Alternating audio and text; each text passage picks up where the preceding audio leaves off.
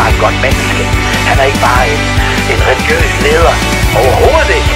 Han er konge. Han er regent. Han er majestæt. Jesus, han vandt over dødsridens magt. Han vandt over syndens magt. Og derfor er der ingen autoritet i synden. Der er ingen autoritet i døden mere, så længe du er i Kristus. Herren, han frelser dig ud af slaveri, ud af bånd og lænker, ud af nederlag, tomhed og meningsløshed. Han tager dig igen Jesu Kristi rensende blod.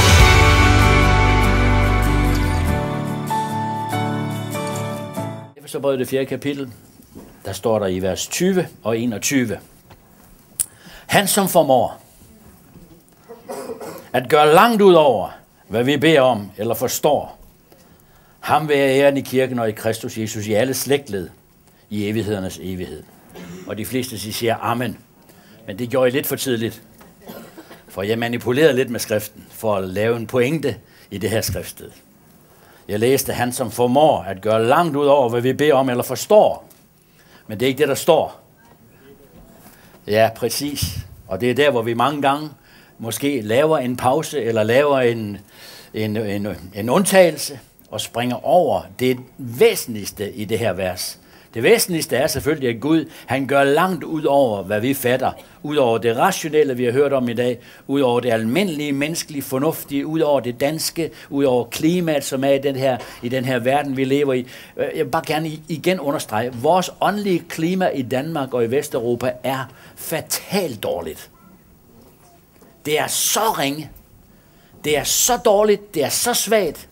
Vesten er ved at miste fuldstændig initiativet i den her verden. Det kan du læse, alle medierne siger. Vesten har givet køb på sit værdigrundlag, og Vesten er ved at miste tabet, eller grebet om hele vores civilisation. Jeg ved godt, I, I ikke er helt enige med mig, eller så er I chokeret. Jeg er bange for, at mine børnebørn, og nu skaber jeg ikke frygt i dag, men vores børnebørn, mine børnebørn, jeres børn, unge forældre, vokser op i en fuldstændig anden kultur, end den I er vokset op i som forældre. Der bliver kamp på liv og død om troen. Der bliver kamp på liv og død. Altså hele Mellemøsten er i dag i oprør. De kristne i Syrien har det forfærdeligt i dag. De kristne i Ægypten har det forfærdeligt i dag. Og i mange af de andre lande i Mellemøsten, store lande, hvor det såkaldte arabiske forår er kommet frem, der er en forfølgelse af de kristne som ingen sinde før. Og vi skal faktisk bede meget, meget for dem. Det er ikke fordi, de, er, de har været dækket, de har været beskyttet af de diktatorer, som vi ikke synes er særlig gode heller, men de har bare været beskyttet af de diktatorer, der har været indtil nu. Men nu er det islamiske broderskab i, i magten i de fleste lande, og kommer også til at være det i Syrien. Så vi ser en kraftig forførelse og forfølgelse af vores søstre og brødre i den del af verden. Og fordi vi her i Danmark og i Skandinavien og i Vesteuropa har mistet vores åndelige grundlag, vores åndelige styrke, vores åndelige kraft, vores åndelige mål, så vil vi også blive ofre for en islamisering så voldsom. I'm sorry. Det er sådan, det tegner sig. Og vi kommer til at leve måske på samme måde, som de kristne i Iran, de lever. Hvor de, der er en kolossal vækkelse i Iran. 3-4 millioner er der i undergrundskirken i dag i Iran. Det eksploderer med de troende i Iran, men de lever skjult, de lever under dækket, de lever beskyttet af hinanden, de bliver forfulgte, deres børn kan ikke få kristen opdragelse osv. osv. Hvis I tror, at jeres børn de kommer til at bare komme til at glide stille og roligt ind i fremtiden, så tror I forkert. I skal som forældre være meget, meget, meget skarpe på at give dem Jesus. Kraftigt. Guds ord. Lær dem bøndens vej. Lær dem ordet. Lær dem troen. Hold da op, hvor er der et stort, stort ansvar, som jeg føler, at Guds ånd talte til mig i går og sagde, du skal formane de unge familier og sige til dem, I skal simpelthen beskytte jeres børn og opdrage jeres børn i Guds frygt og give dem al den åndelige føde, de kan få, for de bliver ofre for en voldsom åndelig tryk, der kommer fra en modsat rettet hold. Det var ikke særlig opmuntrende, David Hansen. Nej, det er særlig vigtigt. Jeg kommer ikke for at fortælle dig, hvad der er dejligt. Jeg kommer for at fortælle dig, hvad der er nødvendigt. Det er virkelig nødvendigt, at den unge generation, børnegeneration, unge generation, den får så stærkt et grundlag, som det overhovedet er muligt, for vi skal have dem alle sammen med til Jesus, hjem til himlen. Vi skal have dem alle sammen med. Amen. Og det kan være, at det bliver en høj pris, men de skal bare med os. Vi skal bare mødes hjem i herligheden. Målet med vores liv er ikke at få et godt og nemt liv her på jorden. Målet med vores liv, det er at bære frugt for evigheden. Og det er at komme hjem til Jesus en dag. Amen. Det er at stå der hjemme foran tronen, inden så længe for nogen af os, er der ikke ret lang tid til, og for andre der er der lang tid til, og nogen tror, der er en evighed til. Men en dag inden ret længe, så skal du stå der hjemme foran Herren, og så skal du gøre regnskab for det mandat, for de opgaver, for de ansvarsområder, han har givet dig. Så skal du bare. Du er frelst. Amen. Du kommer ind. Amen. Men du har bare fået gaver, og du har bare fået evner, og du har bare fået et ansvar, som du skal gøre regnskabet op med en dag. Og han siger, hvad gjorde du ved den gave? Hvad gjorde du ved de børn? Hvad gjorde du ved de mennesker, der var omkring dig? Vi tænker alle sammen på vores naboer, er jeg sikker på. Vi tænker alle sammen på, at vi gerne vil vende, vende mennesker for Jesus. Men, men, men hey, vi, vi, vi må bare engagere os i det. Og leve for Jesus. Amen. Vi må bare leve for Jesus. Ja, vi skal passe vores arbejde, og vi skal også have lov til at leve livet, og vi skal nyde livet, og vi skal glæde os. Men det er bare ikke hensigten med vores liv. Hvor hensigten med vores liv, det er at være Guds ambassadør, det er at være hans udsending i den her verden. Og den bliver mørkere og mørkere, og derfor skal det lys, der er i dig, det skal tændes skarpere og skarpere og klarere og klarere. Og du skal være en sejrvinder sammen med Jesus. Han, som virker i os. Han, som virker i os. Se, meget, meget kristenhed, også den kristenhed, vi er vokset op med, det er, at Gud kommer til at gøre arbejdet. Nej, det gør han ikke. Gud, han har givet os alt det, han kan give os. Han har givet os sit ord. Han har givet os blodet. Han har givet os sin hellige ånd. Jesus er død en gang for alle, og da Jesus døde, hvad råbte han så? Det er fuldbragt. Det er fuldbragt. Vi har fået alt, hvad vi skal bruge. Vi har en voldsom fjende, og nu kommer jeg til at sige noget til dig, som chokerer dig måske lidt. Men din fjende, vores fjende, Satan, vores fjende, er ikke stærkere, end vi gør ham til. Er ikke stærkere, end vi gør ham til. Faktisk er det os mennesker, hvis man begynder at tale om, hvordan blev djævlen skabt, hvordan kom djævlen til, hvordan blev djævlen til. Djævlen er og nu kan vi gå ind i Esajas det 14. kapitel, det har vi slet ikke tid til i dag, eller Ezekiel det 28. kapitel, og der finder du oprindelsen, der finder du udgangspunktet, der finder du beskrivelsen af den modstander, vi står overfor, Lucifer, som er et positivt navn i bibelsk forstand, fordi det er en engel, det er en kerub, som Gud har skabt sammen med Gabriel og, og, de, og Michael og, og andre engle. Lucifer var skabt af Gud. Lucifer var skabt af Gud. Og så kan du læse i Esajas det 14. kapitel, og i Ezekiel det 28. kapitel, hvordan der står, at han blev kastet til jorden. Han voks, og han var endda i Edens have, står der. I Edens have, Ezekiel 28. kapitel. Han var i Edens have. Og der i Edens have, der manifesterede han sig. Som hvad? Som en slange. Fordi en engel kan ikke umiddelbart optræde, eller en åndsmagt kan ikke optræde uden igennem mennesker, uden igennem fysisk, fysiske kroppe, uden igennem mennesker i det hele taget. Det må være mennesker, der må være dyr, der må være, kan I huske, at Jesus han uddrev i den der legion, de ville ind i svinene, fordi de ville manifestere sig igennem noget fysisk og noget, og noget, noget, noget manifesteret udenomkring. Så, så djævelen han kommer til Adam og Eva og siger, mund Gud har sagt, Gud havde givet dem al autoritet her på jorden. Salme 105. Himlen tilhører Herren, men menneskene gav han til jorden. Menneskene fik overdraget jorden. Al autoritet, hør hvad jeg siger, al autoritet fik menneskerne overdraget af Gud. Og Gud vandrede der i Edens have sammen med Adam og Eva. Gud vandrede med dem, og Lucifer var der måske før hans fald, eller efter hans fald, jeg ved ikke rigtigt. Men Lucifer var der i hvert fald, og Lucifer begyndte at hovmode sig, og ville have del i den specielle kærlighed, som var mellem Gud og skaberværket. Og ville være som Gud. Og da han så fandt ud af, hvordan kunne jeg blive som Gud, hvordan kan jeg opleve den der, hvordan kan jeg komme ind og, og få dulme den jalousi, der opstår her, så sagde han, okay, Gud har givet mennesker autoritet. Hvis jeg skal komme til udtryk, hvis jeg skal få magt på den her jord, så må jeg have den autoritet givet. Så må jeg få den autoritet overdraget. Er I med? Er I med? Så djævlen han kommer, og han frister dem, og de falder for fristelsen, og de overgiver den autoritet, Gud har givet dem, til at forvalte hele det skaberværk her. Overgiver de til Satan. Og det er der hele ulykken, den sker at hele menneskeheden kom i den ondes vold, står der i Johannesbrevene. Hele verden er i den ondes vold. Er det Guds skyld? Er det Guds skyld? Nej, det er. Hvem har skabt Satan? Og vi kunne konkludere det meget enkelt ved at sige, og det er en meget enkel teologi, men den er rigtig, den her, jeg kommer med til. Hvem har skabt Satan?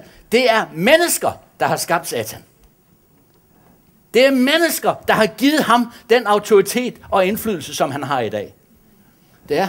Så er der Gud, han vil omstøde i kraft af sin kærlighed, fordi Gud, han kunne ikke bare lige, ja, det kunne han godt, for Gud er suveræn, Gud kan gøre alting, men Gud havde givet menneskerne sit ord, og givet sit mandat til mennesker, sig, det er jeres, og Gud er en retfærdig og sandru Gud, og han laver ikke om på sit ord. Han tager ikke det tilbage, som han har givet. Hans nådegaver, hans kald, fortryder han ikke. Du ser nogle mennesker, som tjener med nådegaver kald på trods af, at deres karakter er så svækket og så svag, og alligevel opererer de i nådegaver, fordi Gud har givet. Det har han givet. Amen. Så Gud, han har givet autoriteten. Så derfor, så kunne Gud ikke bare lige stå hen og sige, okay, det vil jeg tage tilbage igen. Nej, han har givet det til mennesker. Og mennesker gav det videre til Satan. Så vi har ligesom et billede. Vi har ligesom et billede. Nu skal jeg prøve at Toren, vil hjælpe mig lidt? Vi har ligesom et billede. En ung pige kommer ind i banken. Og hun står her hen ved disken. Hun står, nej, står bare dernede. Hun står her hen ved disken. Og pludselig så kommer der en bandit ind. Så kommer der en røver ind. Øh, Anders, vil du hjælpe mig? Kom, Anders. Så kommer der en røver ind i banken med bind for øjnene, eller i hvert fald maske på. Og han, og han siger, hit med pengene, siger han til kasseren her. Og så lyder alarmen. Så lyder alarmen over det hele. Og han vender sig om, røveren. Og der kommer politiet løbende. Autoriteten kommer løbende. Så gør Anders det. Han siger, jeg tager lige et gissel her.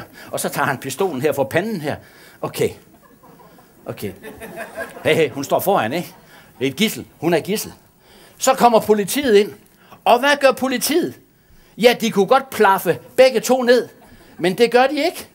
Okay? Nøjagtigt det billede har du i Edens have. Satan tager mennesket som gissel. Mennesket har overgivet sig til Satan, og dermed har Satan fået magten, men Satan bruger menneskeheden som gissel, og Gud kommer ikke ind og siger, for så har han slettet menneskeheden ud. Så har han udslettet sit værk, sit skaberværk på stående fod. Okay?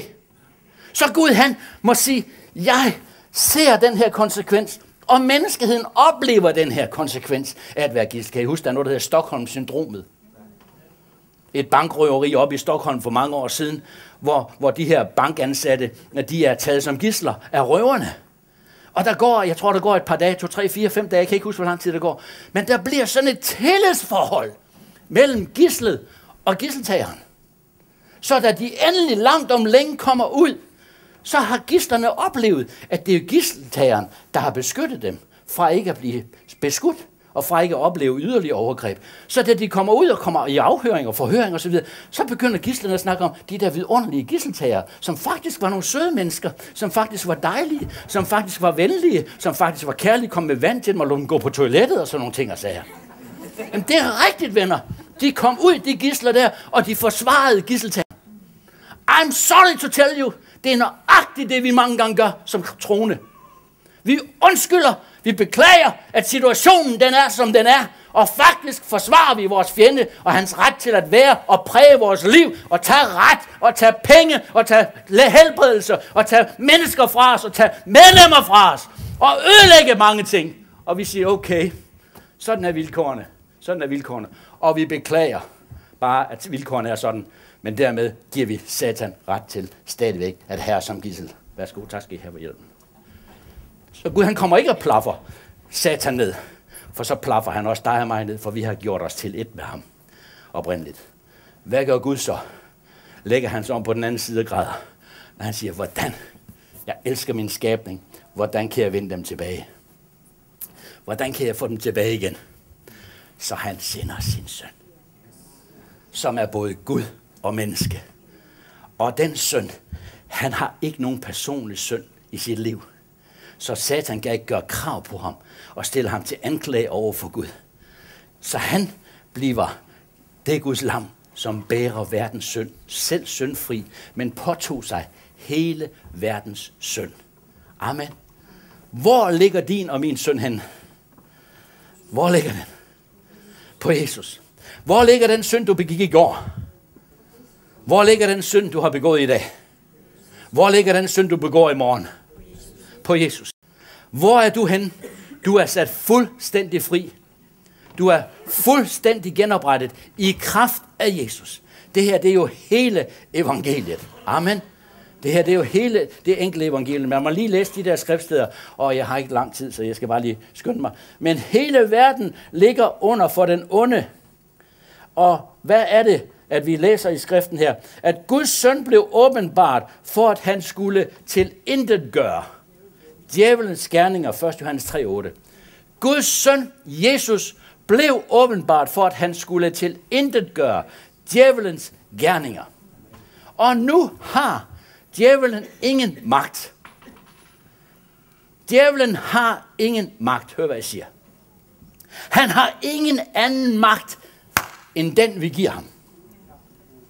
Han har ikke nogen som helst autoritet, for Jesus har på Golgatas kors besejret ham og sagt, det er fuldbragt.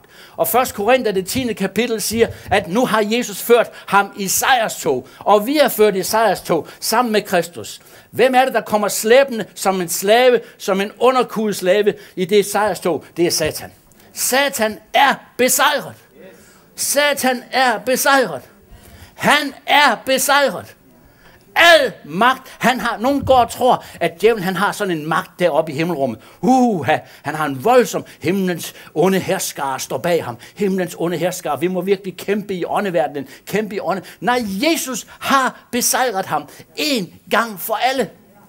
Han skal ikke besejres igennem åndelig krigsførelse. Jeg kan godt tro på åndelig krigsførelse, men den åndelige krigsførelse, den har meget med vores eget sind at gøre. Den har meget med vores egen opfattelse at gøre. Den har meget med vores egen perceptionsevne at gøre. Og vi mener og tænker og synes, der er så meget modstand, og det er så tungt, og det er så svært. Og David han stod lige stået og sagt, at vi er under det der. Ja, fordi løgn og bedrag er satans våben. Løgn og bedrag, forførelse og frygt er satans våben. Det er det, der angriber vores sind. Det er det, der angriber vores tankeverden. Det er det, der angriber vores følelser. Det er det, der angriber vores nattesøvn. Det der angriber os, hele vores væsen. Det er frygt. Det er mindreværdsfølelse. Det er, øh, det, er, det, er, det er løgn. Det er bedrag. Det er alt det der, som Satan han er mester i at manipulere. Som gisseltageren var mester i at manipulere med sine gisler.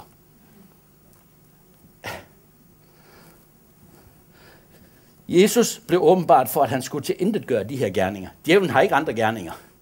Hør, hvad jeg siger. Djævlen har altså ikke en herskar. En herskar, han kan komme med svær i hånden og slå dig, og piske dig, og binde dig og, og, og matre dig. Det har han ikke. Han har bedraget i dit sind, der gør, at du tror, han har det. Og du agerer, som om han har det. Og du mener hans våben. Han er løgnens fader. Ja! Hvad er løgn? Løgn skal afsløres af hvad for et våben? Sandhedens våben. Og Jesus Kristus er vejen, sandheden og livet. Og den, som forstår sandheden, han skal blive sat fri. Så jeg forkynder dig sandheden i dag, at Jesus Kristus, han er kommet for at sætte os fri fra løgn, fra bedrag, fra forførelse, fra frygt for fremtiden og for alt det negative, som er omkring os. Jesus har købt os fri fra det. Samtidig siger Johannes brev, I må ikke undre jer, hvis verden hader jer. Og det angriber os også. Uh, der er nogen, der ikke kan lide os. Uha, der er nogen, der har forladt os. Uha, der er nogen, der er gået fra os. Uha, der er nogen, der spotter os. Uha, der er nogen, der siger noget forkert om os. Uha, der er nogen, der anklager os. Og så videre. Jamen, det er den mær fyrste dag i den her verden. Han begynder at fortælle dig og mig, at sådan og sådan er vi. Vi er forkert på den. Det må bare ikke undre os. Det er vilkårene for at være her med Jesus Kristus og hans sejr og bære den i vores hjerte. Han, Guds ånd, som er i jer, hvad med den, er større end ham, som er i verden. Han er større end ham, som er i verden. Tænk! Oh, David Hans, bliver du aldrig angrebet i dit sind? Jo, det skal der lige lov for. Bombarderet, bombarderet morgen, middag, aften og nat og så videre. Bombarderet. Men jeg ved bare, at jeg har et våben, og det er, at han, som bor i mig, og hans ord, som bor i mig, og hans ånd, som bor i mig, er større end ham, som er i verden.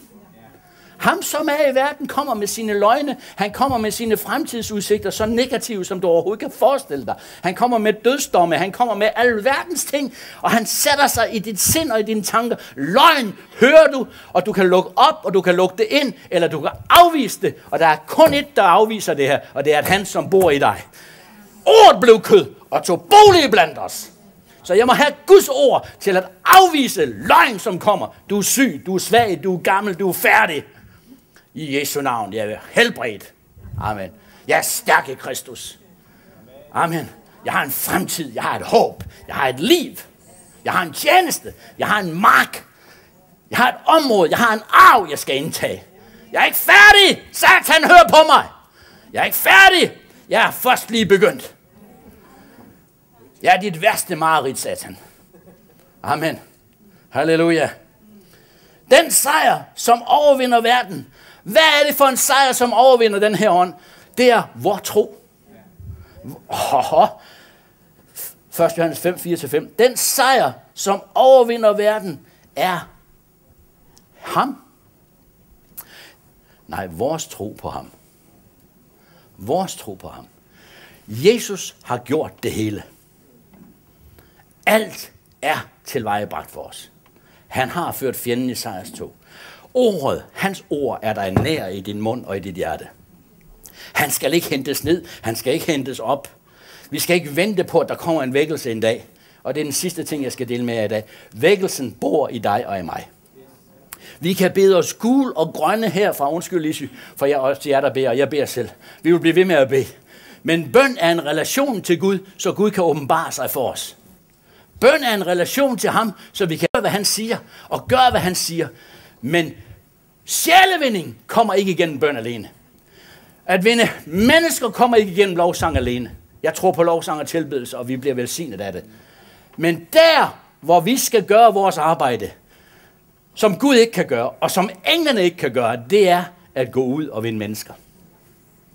I første kapitel i Apostlenes Gerninger står der, at disciplinen spørger Jesus, er, du nu, er det nu, du vil oprette riget for Israel? Jesus han siger til dem, det er ikke mig eller jer, der ved noget om tid og time. Alene faderen ved, hvornår dommens tid, hvornår endens tid er der.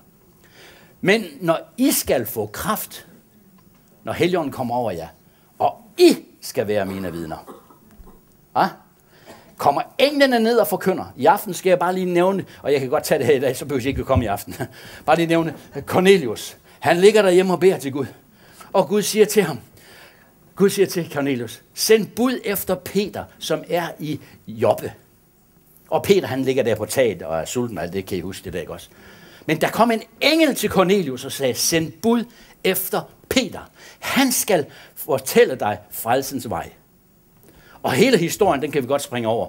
Men det er bare et udsagn af, at Gud kommer ikke ned til det menneske, som ligger der og kalder på frelse, men Gud formidler frelsens budskab, evangeliet, igennem et andet menneske.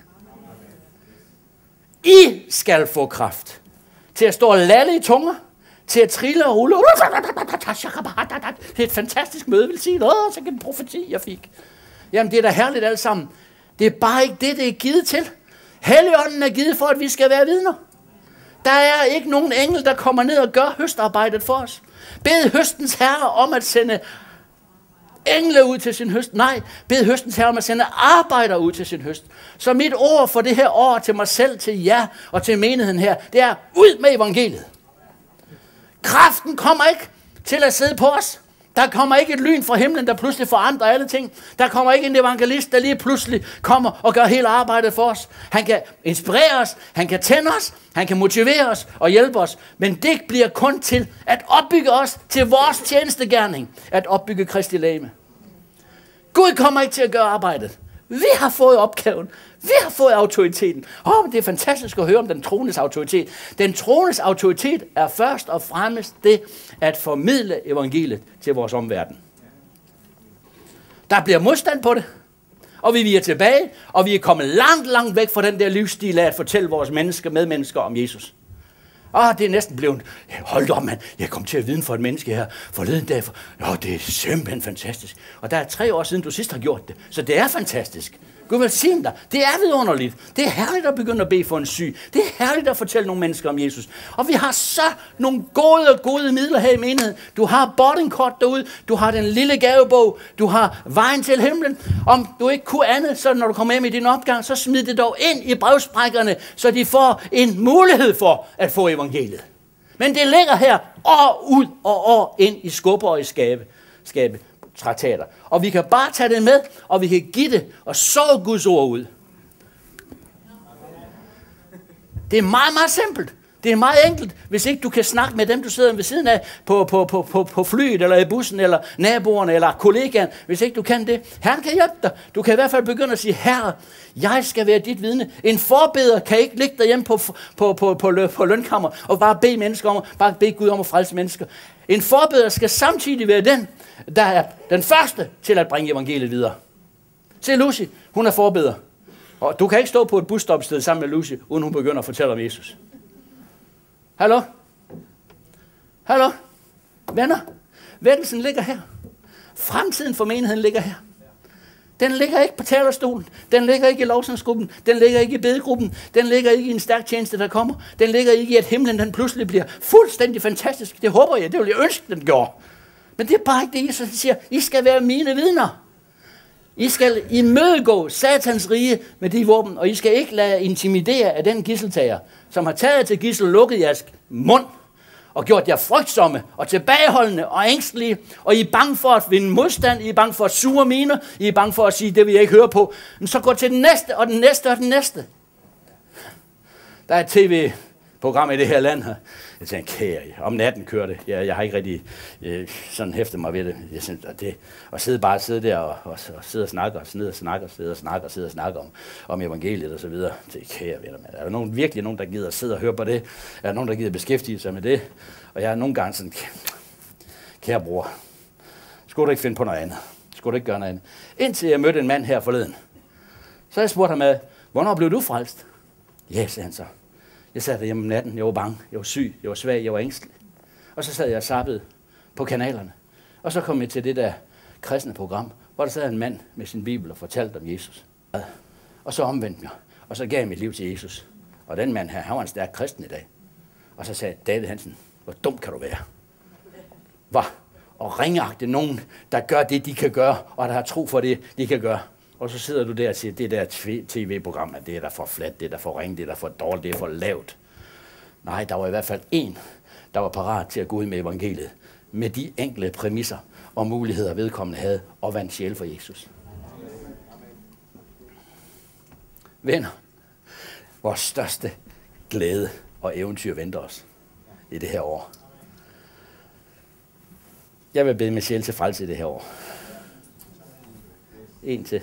En til, en til, en til. Mange vil bede med sjæl til frelse i det her år. Paulus han siger, bed for mig, at Herren vil åbne en dør for mig for evangeliet. Se, Paulus han var udrustet med kolossal autoritet. Kolossal gaver, visdom, kundskab, frimodighed. Men han havde brug for at blive ledt ind til de åbne døre og bad om forbøn. Det er det, vi kan bruge forbønnen til. Det er det, vi kan hjælpe hinanden til. Djævlen, han skal ikke stjæle den her dimension fra os. Han skal ikke. Brødre og søstre, han må ikke holde os tilbage. Han må ikke holde os tilbage. Bed Gud om at få åbne døre ind til menneskers hjerter. Det handler ikke om at få et godt og nemt liv. Det handler om at vinde sjæl for Jesus. Det handler om at vinde nogle mennesker for Jesus. Ja, David, du vil gerne have til nogle flere mennesker i menigheden. Ja, selvfølgelig vil jeg det. Selvfølgelig, det håber jeg også, du vil. Vil du være, ven? Du, øh, vi har så mange muligheder. Nu har jeg nævnt boarding card, jeg har nævnt den lille bog, jeg har nævnt vejen til himlen, der ligger du. Der er gratis bibler, du kan få. Du har Facebook. Du har Facebook. Hvor mange, altså undskyld mig, nu følger jeg meget med på Facebook, så jeg kan se, hvad I skriver. Og det er for lidt, I skriver om Jesus. Det er for lidt, I fortæller om Jesus. Hvis der kommer 10 meldinger fra jer, og der ikke er noget om Jesus, så er det for ringe. Der kunne godt være en lille taksigelse. Jesus har velsignet mig i dag med en god lovsang i gudstjenesten. Ja, hør hvad jeg siger. Det er virkelig vigtigt, altså. Det er da et nemt middel. Hvor, hvor, hvor, hvor nemt vil du have det? Hvor, hvor svært skal det være? Just do it. Hver tiende med, du skal ikke bruge det til at prædike, men du kan da sige, hold da op mand, Gud han berørte mit hjerte i dag. Og jeg blev super præsten i dag, fordi han skældte lidt ud. Men det gjorde mig godt. Jeg har omvendt mig. Jeg kommer på søndag, og jeg kommer præcis kl. 10.30. Okay. Altså, hey, prøv lige at identificere dig med Guds folk også indimellem. Og ikke bare et eller andet hobbyrum, eller et eller andet, et eller andet øh, madlavningsprogram. Identificer dig lidt med Guds rige, og lidt med Guds folk. Det er det pionertider, når vi har, og nu er vores pionertid desværre forbi, jeg håber, der kommer en ny, han altså. Men i pionertiden, der snakker man om det, man er gang i. Der snakker man om det, man er med i. Hold op, mand, vores nye menighed. Nej, hvor er det spændende. Hold op, jeg skal vaske op på søndag. Uh, hvor jeg glæder mig. Og jeg skal gøre rent på tirsdag. Nej, hvor er det herligt. Og jeg skal give 10.000 på mandag. Nej, wow, det er fantastisk at være med i det her. Hele den der pionerånd. Hvor er den af? Hvor er den blevet af? Satan, han har bare taget som gisler. Og Gud kommer ikke ned og gør arbejdet. Og skyder ham for os. Det gør han ikke. Du gør sådan her. Jesu navn, vi bor. Amen. Du gør det af med ham. Stå djævelen imod. Fast i troen. Og han holder fast ved dig. Hvad så? Han skal fly fra dig. Se, jeg taler om den trones autoritet til at vidne, men også den trones autoritet til ikke at lade sig forføre, og ikke lade sig blive et gissel, og ikke lade sig blive et offer for omstændigheder, for influenza, for feber, for gæld, for alt muligt. Alt, hvad vi måtte kæmpe med, og alt, hvad vi måtte stå overfor. Åh oh, ja, nu er det der igen. Åh oh, ja, nu er det der igen. Nej, jeg må rejse mig imod det og sige, satan. Der var en mand, der skrev til mig, David Hansen, det der med, giv mig nogle skriftsteder på det der med, at satan er under vores fødder. Hvor står der, at satan er under vores fødder? Altså den typiske religiøse holdning, at satan han er så stor og mægtig, og han er så voldsom, og han kan så meget, og ham skal vi simpelthen passe på. Ham skal vi simpelthen værne os imod. Ja, du skal ydmyge dig under den levende Gud. Og når du ydmyger dig under den levende Gud, så er du under et trygt skjold. når du har Guds ord, så er du tryg. Når du har Guds ånd, og bønden har du, og blodet har du, så er du tryg. Og alle dæmoner kan komme imod dig. Det er løgnedæmoner, det er usandheder, det er bedrag. Amen. Det er bedrag altså. Og kan vi bare få det ind? Sandheden, og det er sandheden her, den skal frigøres. Så skriftstederne kom bare til mig. Romerne 16. Fredens Gud skal i hast knuse Satan under jeres fødder.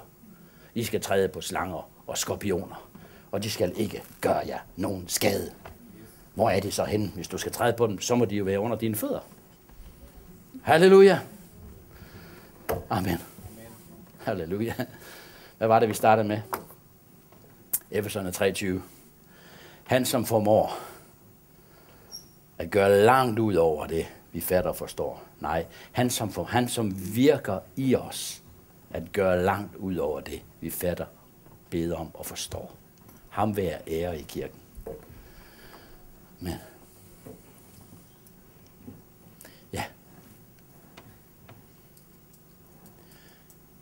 Hvad synes du, Jesus? Var det godt nok? Ja. Sidder Jesus derhen?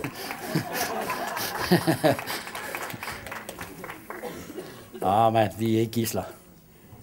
Sig lige til din sidemand, du er ikke et gissel.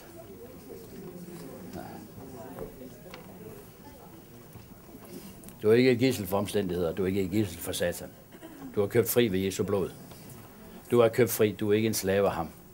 Du er knyttet til Kristus Jesus. Halleluja. Amen. Hvor mange ikke-troende er der her i dag? Der er, der er ikke nogen rigtig mange ikke-troende her i dag. Er der mange, der ikke kender den hellige ånd her? Det er der heller ikke i dag. Så kan vi godt plapre lidt i tunger. Skal vi gøre det? Hvad? Skal vi give øh, Herren og, lov, og udtrykke vores tro og tillid til ham? Det går over vores forstand. Det går ud over vores forstand, når vi beder i ånden. Det gør. Men udlægningen kommer til dig. Om ikke den kommer umiddelbart, så kommer den, når den kommer hjem, eller den kommer i morgen. Hvad var det, jeg bad om i går? Hvad var det, jeg stod for i går? Amen. Det ender bare, vi læste en hel masse kapitler i går fra Esajas. Jeg skal ikke tage dem og læse dem for dig. Men der var bare et vers, der sprang i øjnene på mig. Ja.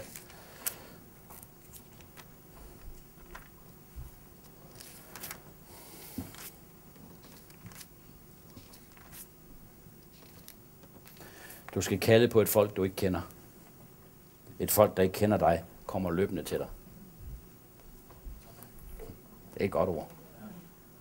Det er godt over for mig privat, og for os privat. At jeg skal kalde på et folk, jeg ikke kender. Og der er et folk, som kan komme til mig, som jeg ikke kender. Det gælder dig. Når vi beder i tunger, når vi beder i ånden, så kommer det fremmede, det ukendte. Ved du hvad? Det grænsesprængende, det kommer. Vi bevæger os inden for en bestemt ramme. Vi gør. En meget kendt ramme bevæger vi os inden for kendt. Vi kender det, vi ved det, hvordan frikirke, hvordan kirke, menighedsrammen, lederskab, teologi, vi kender den her form og stil og kultur. Og jo, det er det her. Ved du hvad? Gud han sprænger den ramme. Og derfor starter det med, at jeg begynder at kalde på det, jeg ikke kender. Jeg kalder på det, jeg ikke kender. Og der er nogen, der sidder fastlåst i inden for en bestemt ramme nu her i dag. Sidder fastlåst i en bestemt situation. Det er ikke rart at sidde der. Jeg vil bare sige til dig, spræng dine lænker. Tal til den situation med familie, med relation, med netværk, med begrænsning. Det begynder med, at du taler til det, du ikke kender. Men du kan bare mærke, at jeg er låst fast i en eller anden situation lige nu og her. Og jeg må have en nøgle fra himlen til at lukke op, så jeg kommer ud af den her fastlåste situation. Gisseltageren vil holde dig der. Indtil du begynder at kalde på det, du ikke kender. Der er en kraft og en dimension uden for din verden og uden for din forståelse, der går langt ud over det, du fatter og forstår. Der er en dimension inde i din familieliv, som bare skal konfronteres. En dimension, som du har vandet dig til at leve under og leve i og leve med. Jeg siger i Jesu navn, den skal sprænges, den ramme. Grænse, sprængende indflydelse igennem tungetal og igennem at tale til bjerget, og det skal flytte sig. Og så kan du også sige, der er noget, der skal komme til mig, og det skal komme løbende til dig. Et folk, du ikke kender til, kommer løbende til dig. Okay? Sagde til Herren, vi bad sammen. Her lad, det, lad der komme et lille signal på det i dag. Kommer der en mail, om jeg vil sætte mig ned og have en frokost med en bishop fra Bangladesh, som har 500 menigheder, bibelskoler og ting, så jeg kender ham overhovedet ikke. Kan vi spise frokost sammen på lørdag den 19. Ja, det kan vi godt. Okay. Hvad ligger der i det? Et folk, jeg ikke kender. Skal jeg komme til det, eller vil de komme til mig? I don't know. Vi bad det bare ud i åndeverdenen. Her, du taler i dit ord, at vi skal kalde på det, og det skal komme. Eller vi skal kalde på noget, og vi skal komme til det, uanset hvordan det bliver. Du skal bare kalde på det, der sprænger din ramme, din grænse, din funktion, din position i dag. I Jesu navn.